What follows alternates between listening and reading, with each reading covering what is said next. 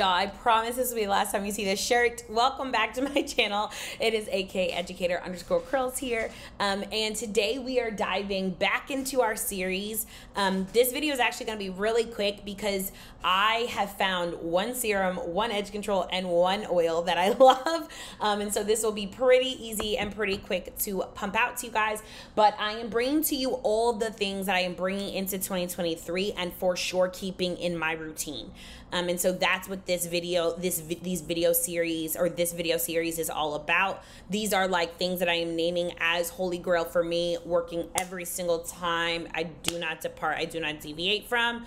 Um, and so that is what I'm naming for you today. So first, let's get into what is our serum that we are using, um, and that is this is the Camille Rose Rejuva Drop Grow Back um, with castor oil, peppermint oil, and saw palmetto. It's made for hair loss and alopecia, but for me, it's really good for thickening my edges um, and maintaining the uh, stimulation there for me as well as in the rest of my scalp. Um, this retails for about $19.99 i normally get mine at target and just pick it up.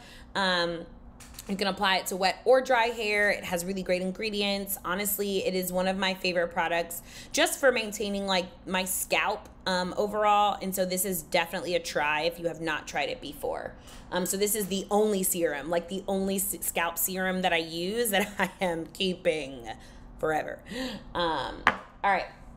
Next is my favorite oil. And again, this is like I have been using only this oil for about like two years now. Um, but this is the Camille Rose um, Cocoa Nibs and Honey Ultimate Strength Serum with um, a Ayurvedic Brahmi and Amla oils. Um, and so this is an oil, even though it says strength serum, um, it is an oil. It literally has nothing but oil in it. It is absolutely phenomenal. It smells really, really good. This one retails for about $16.99 and is eight fluid ounces. So it takes me a really long time to even get through this oil. I've had the same one for like nine months. Okay. And I am like, I maybe have this much left in there. I don't use a ton of oils. Like I don't use it in my routine. I really use it at night. Um, or I use it to like break the gel cast of my hair. That's about it. Sometimes I'll add it into my deep conditioner, but those are really the only ways that I use oil per se. I don't like use oil diligently in my routine at all. Um, not anymore, at least.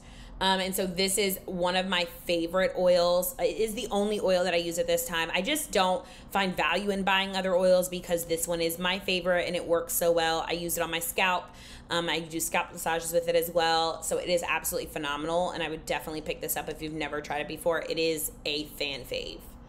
Um, okay. Last thing is an edge control, and it's taken me a really long time to find edge control, to be honest.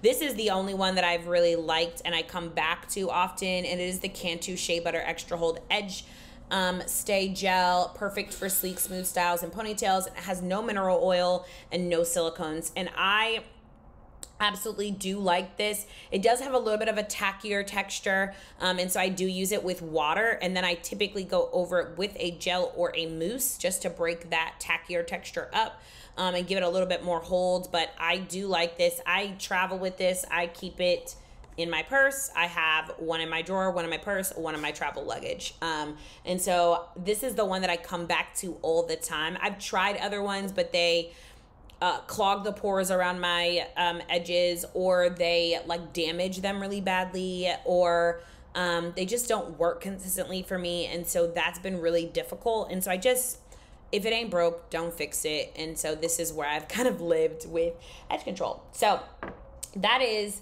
the edge control the oil and the serum that i'm taking with me into 2023 um, those are the only ones that i really use and have been using for almost the last year and so um, I'm going to keep them um, and definitely name them as my staples going into 2023.